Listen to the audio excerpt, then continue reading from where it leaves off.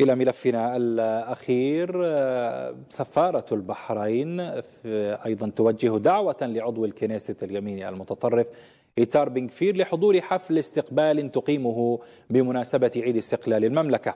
فعلى خطى جرتها دولة الإمارات وجهت سفارة مملكة البحرين في تل أبيب دعوة لعضو الكنيسة المتطرف إيتمار بن كفير لحضور حفل استقبال تقيمه السفارة بمناسبة ذكرى مرور 51 عاما على استقلال المملكة. وكانت سفارة الإمارات في تل أبيب دعت بن كفير لحضور حفل استقبال أقامته السفارة بمناسبة استقلال دولة الإمارات ويتعرض بن كفير منذ نجاح حزبه في انتخابات الكنيست إلى انتقادات أمريكية أوروبية. وأعلنت الخارجية الأمريكية أنها لن تتعامل مع بن كفير إذا أصبح وزيرا في الحكومة الإسرائيلية المقبلة برئاسة بنيامين نتنياهو وذلك بسبب آرائه المتطرفة ومواقفه التصعيدية ضد الفلسطينيين في الضفة الغربية والقدس المحتلة.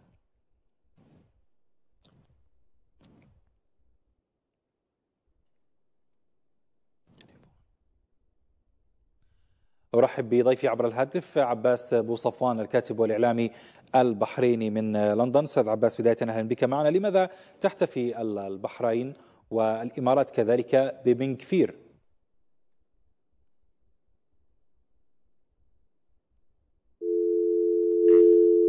أن فقدنا التواصل مع ضيفنا الكاتب والإعلامي البحريني الذي كان ينضم إلينا من لندن عباس بو صفوان فيما يتعلق بمشاركة بن كفير في في اليوم الوطني الإماراتي قبل تقريبا ثلاثة أيام. وهنالك في السفارة الإماراتية في تل أبيب وكذلك الآن تأتي دعوة مماثلة من قبل سفارة المملكة البحرينية في تل أبيب أيضا لبن كفير من أجل المشاركة في اليوم الوطني البحريني. من أجل أيضا الاحتفال بمرور 51 عاما على استقلال المملكة البحرينية. ثم كان بعد ذلك هنالك دعوة من قبل أو لقاء ما بين السفير الإماراتي أول أمس مع سموتريتش المتطرف الصهيوني الآخر. طبعا هما شخصيتان من المتوقع أن يتقلدا مناصب حكومية في الحكومة الإسرائيلية المقبلة التي من المفترض أن يتم تشكيلها عبر بنيامين نتنياهو الذي يعود إلى سدة الحكم من جديد. وهنالك واضح رفض أمريكي واعتراض أمريكي وكذلك أوروبي على وجود هذه الشخصيات في هذه الحكومة الإسرائيلية. أعود إلى ضيفي عباس بو صفوان الكاتب والاعلامي البحريني الذي ينضم إلينا من لندن، أستاذ عباس كنت تتساءل لماذا تحتفل البحرين والإمارات ببن كفير؟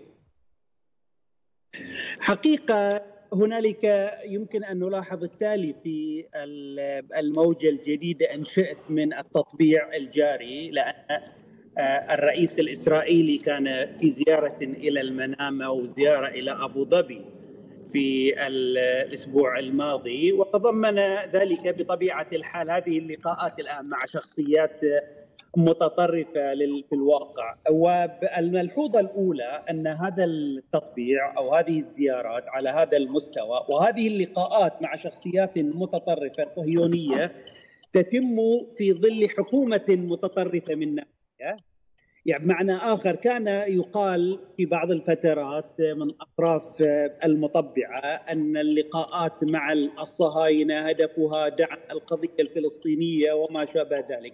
طبعا ذلك ما انطلع على أحد لكن كل يوم يتضح أن ذلك كان هراء كامل الدسم كما يقال في ظل هذه الحكومة اليمينية المتطرفة مع أني لا أعرف حكومة غير متطرفة في في تل أبيب، ثم من جهة أخرى هذه اللقاءات مع هذه الأطراف اليمينية المتطرفة تتم في ظل رفض عربي عارم لقضية التطبيع، قضية الاعتراف بالاحتلال لدعم فلسطين نعم. ودعم القدس كما شاهدنا ذلك بشكل واضح في المونديال في قطر أليس كذلك؟ وبالتالي الآن يتضح أن الحلف القائم يقوم مع دولة الاحتلال كهويتها عنصرية وصهيونيه ومصرة على التعامل مع الفلسطينيين بلغة العنف وليس إقرار أي حق، بالمناسبة حين على سبيل المثال تراجع حتى الخطاب السعودي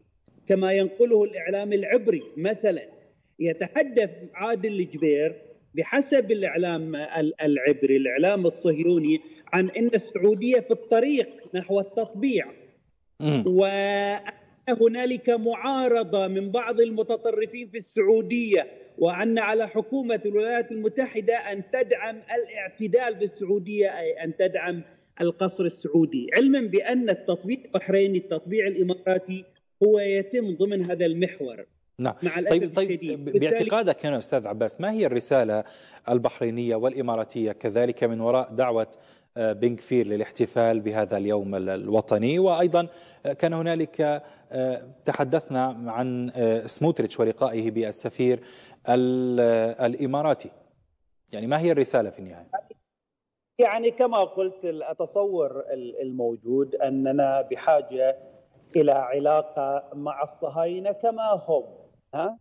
بمتطرفيهم. بالعكس المتطرفون العلاقة مع المتطرفين مسألة أساسية فيما يخص نظرية التطبيع البائسة هذه التي تتم بالمناسبة على خلاف ما يدعى من أنها ترمي إلى تسهيل التواصل بين الفلسطينيين وبين الصهاينة. آه، بمعنى آخر هنالك من ناحية اعتقاد أن ترنح أو تراجع البيت الأبيض عن بعض ما اعتاد عليه بعض دول مجلس التعاون الخليجي. قد يتم تعزيزه أو التعويض عنه بالتقرب إلى واشنطن وإلى المتطرفين في داخل آه، عبر عبر التقرب إلى تل أبيب. على على مختلف ألوانهم. منافسه لا يمكن الأخذ آه، بصدقية بالغة حديث بايدن عن محاولة عقاب بعض هؤلاء المتطرفين، لكن لتلاحظ أن حتى الأطراف الغربية تواجه نوع من الحرج وهي تلتقي بشخصيات آه، متطرفة كهذه. بينما الحكومة البحرينية الحكومة الإماراتية يعني تذهب ضاربة بعرض الحائط. يعني أبسط آه، لنقل المبادئ التي يفترض أن ترعاها الدساتير بالمناسبه، يعني أليس الدستور الإماراتي والدستور البحريني يتحدث عن العروبة ويتحدث عن الإسلام؟ أليس جامع الجامعة العربية تتحدث طوال 70 سنة الآن عن أولوية القضية الفلسطينية؟ نعم يعني حتى الأدبيات العربية البائسة أصلا التي لا تحول إلى برنامج عمل أصلا يتم العمل آه، اعتدنا أن يتم الغض البصر عنها. الآن يتم العمل نعم أستاذ عباس. نعم. أعتذر على المقاطعة وأشكرك جزيلا مع ختام هذه الحلقة. عباس بو صفوان الكاتب والإعلامي البحريني من لندن عبر الهاتف. وشكر موصول لكم مشاهدينا الكرام على المتابعة. هذه أطيب المنى. في أمان الله.